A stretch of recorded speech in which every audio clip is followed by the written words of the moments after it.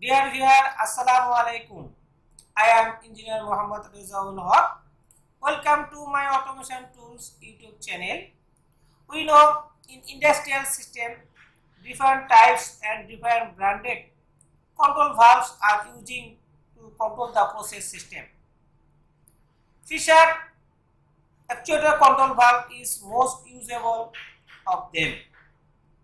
Different types of problems are happened in Fisher control valve. Today, I will discuss about the maintenance procedure of Fisher actuator control valves that problems are happening in control valves. So, dear viewer, let's start. Here, this is the Fisher actuated control valve. You see, this is actuator. Different types of parameter are written in this uh, nameplate. This parameter we need to calibration or setting, pressure setting, travel setting, all the parameter we need that are written in this uh, nameplate. You see, all parameters are written properly. This parameter or model number we need to calibrate the actuator. So I am showing you this one. By noticing this one or you can write down this one but when we want to calibrate this control valve we this type of we need this data. So we have to be notice this uh, nameplate data is carefully. You see it is the travel of this uh, actuator that means the traveling range size the travel range is 3.4 inch it is the travel range from 0 to 100 percent. And here you see the pressure. PSI maximum pressure. Actually the maximum pressure is 75 psi it is the positioner FIELDVUE positioner that is used to control this uh, the Fisher actuator. It is the positioner that is used. Here the this actuator is a it is the actuator nameplate. It is the model number is a DVC 6200 it is the actuator model number is the model number that means that, that if you want to focus this one then you need this one the it is a regulator. It is a regulator that is you see the maximum supply pressure is 250 psi and the pressure is also seeing here it is the nameplate data that is need to do focus if you want to focus this one we need to this data to uh, we have the some warning. So first we see we think it is this valve is making a problem. We cannot uh, uh, open the valve. So we have to what we have to do first firstly we have to check the air pressure. That is the supply air pressure is actually is accurate with this nameplate data or not.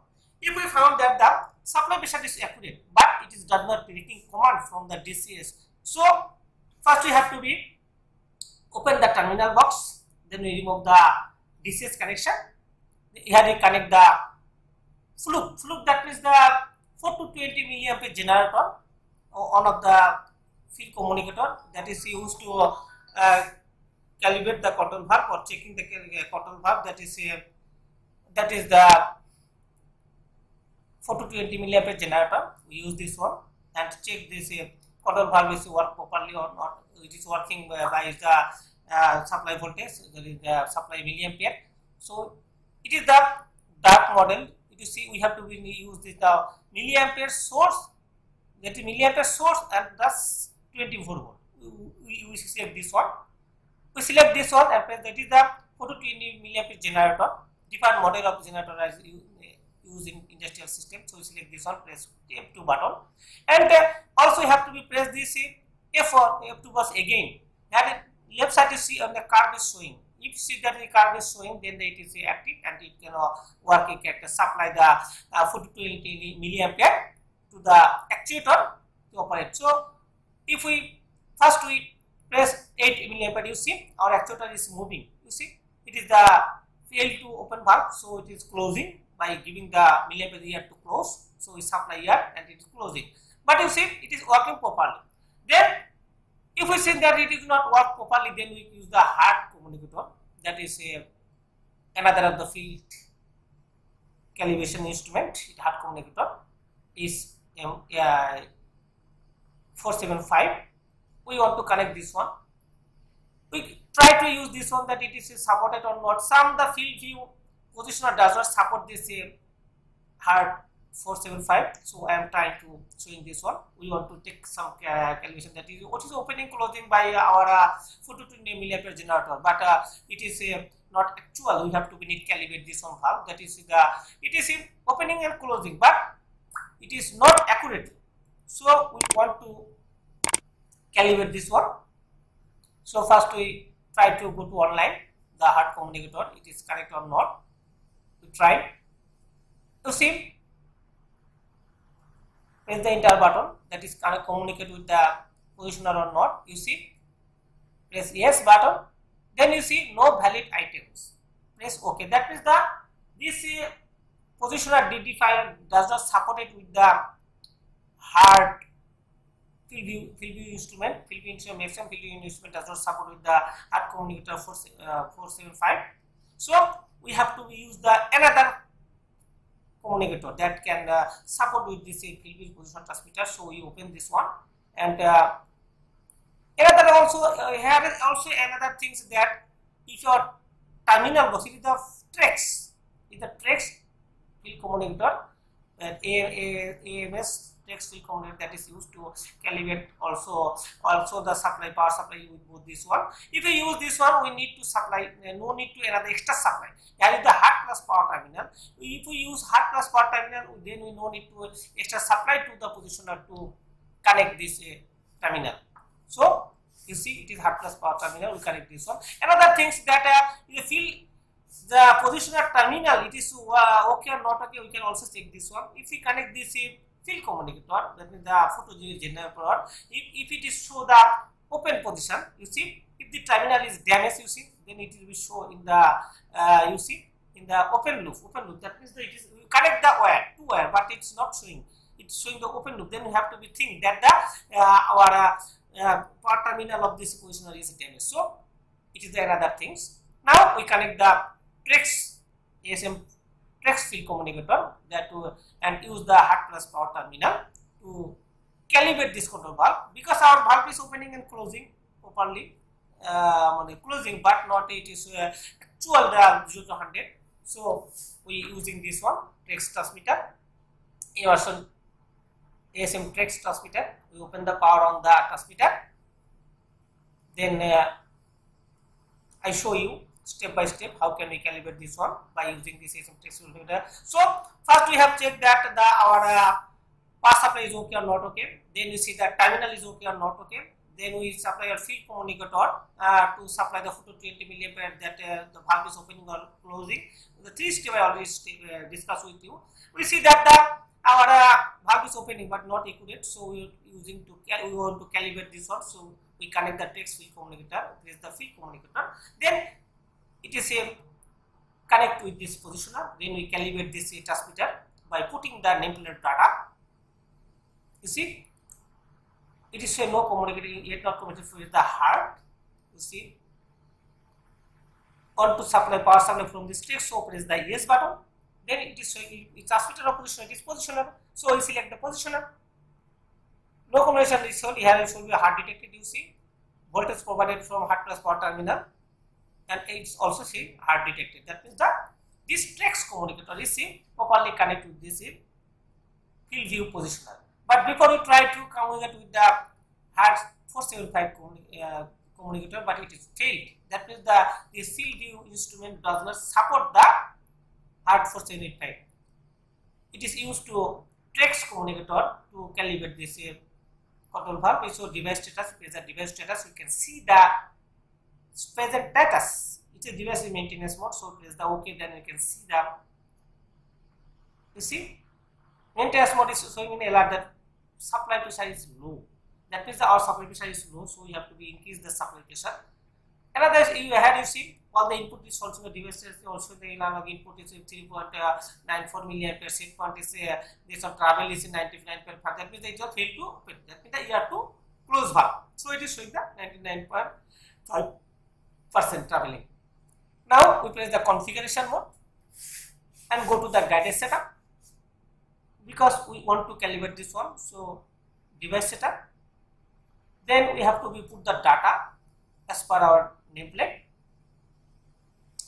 You see it is loading the setup mode. You see in service now out of go to out of service so press out of service. First you have to be also when you want to calibrate this one must be in out of service and the valve will be the normal uh, that means that you go to the out of service means the process not controlling by use this valve one. So when the process shut down you can use this one. Then the pressure unit pressure unit is psi in the that i show it is psi so i select psi then it is the relay type. Relay type is A or C or B. You see this relay type is A. In right side, I am showing the relay type A. Also, I open the cover and show you that it is the uh, actuator relay is relay C. So, you have to be select relay C to calibrate this uh, actuator or control valves. Here the two, here is two uh, pressure gauge. That means that it is single acting so it is C and it have to be two pressure gauge. If it double acting, that means they have three pressure gauge. So the two pressure gauge is the double acting. It is the double acting, so we have to see, select, re-acting. It travel control, pressure control, it is travel control. So we select the travel control and press the OK button. Then it is show the maximum supply pressure is 45. Uh, our nameplate is showing that 40, 0 to 40 psi. So we select the 40 psi. We put the 40 psi value. So we must all of the data you have to input as part of the nameplate data of this actuator. So it is the 40 psi. Press OK. The Fisher control valve is what types of actuator is Fisher control. So we select the Fisher. The nameplate data you see Fisher. I am mentioning. So we select Fisher and uh, select this Fisher control valve.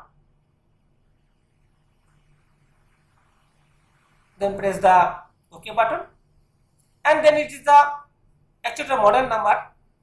You see 657 actuator type type is type is 657 uh, 657 you see.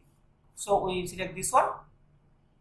And uh, press the ok button. Then it is the actuator size 40i do you see? In the nameplate data you can see. You see here the size is 40i so we select this one. It is already taking the data. On already all the data taken from the communicator. If it not accurate, then you can select them. Yes, default for a setup. Yes, you can press yes button. Then you press the OK. Then the or the default. You see, press OK. Then the all the setting data are going to the actuator. That we have change this one. This sending to the device setup has completed. So press OK button. Then to finish the setting up run the table yes, okay. To modify response, use stabilizer optimize. Yes, press OK. Press the OK button. Then press the out of service because we want to calibrate this one. Press the out of service and then the auto calibration. Press an auto calibration. Then the calibration uh, mode will be open. Calibration option will open. You see, please wait. That means the calibration is uh, running. You see continue. Warning you see calibration will show warning press the ok please wait you see. Standard calibration is going on. You see calibration is process checking high drop. You see right hand corner as i show the high drop is already completed you see. It is taking some time the high drop is completed. Then it taking the load. It is the high drop is up to left. That means it is uh, fail to open valve so it is a good low low low drive you see. Load up means 0 to 100 it is the open valve so it is the high drop is 100 to 0 and low drop is 0 to 100 it is showing the low drop is completed. Now it see you see calibration progress adjusting output bias you see in the our right side corner in the picture you, you can also see that the our uh, valve is adjusting the pressure. Auto calibration process is going on. So you can see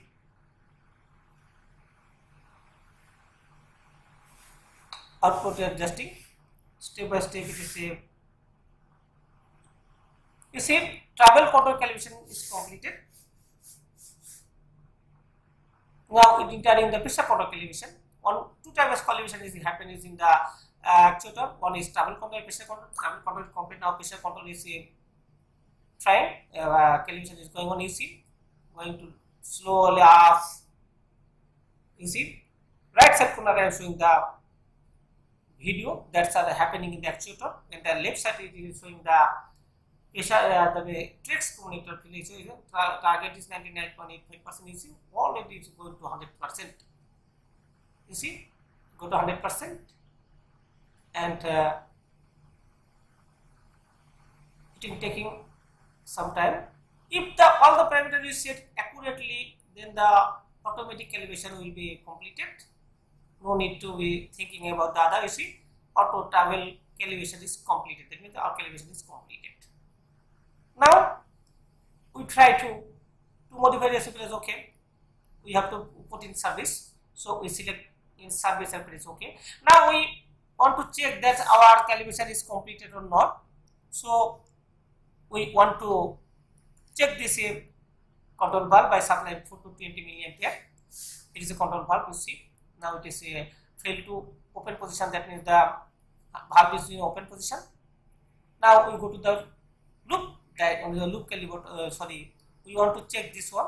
So we press the loop diagnostic and here we want to supply the TREX unit power per one because we want to check. Now check this valve. Is working is properly or not we have already completed. So we uh, power supply is now 4 milliampere then the power supply is go to 4 milliampere power supply is 4 to 20 milliampere.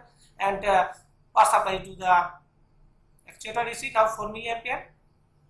Now in the right side corner you see it is 8 milliampere and you see our actuator is downing you see down. 12 milliampere also down. 60 milliampere is also closing you see. And 20 milliampere is 100% close that means that it is the air to close valve. So again i go to off. You see 60 milliampere you see actuator is opening.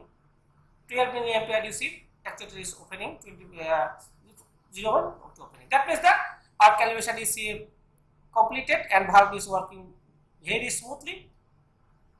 So we want to exit this part so dear friend i try to show you the how can we maintain a pressure control actuator valve. If you think it is very helpful to you please subscribe my channel also like comments and share that other people can uh, learn about this one so dear friend no more today assalamu alaikum please subscribe my channel and press the bell icon also like comments and share thanks for watching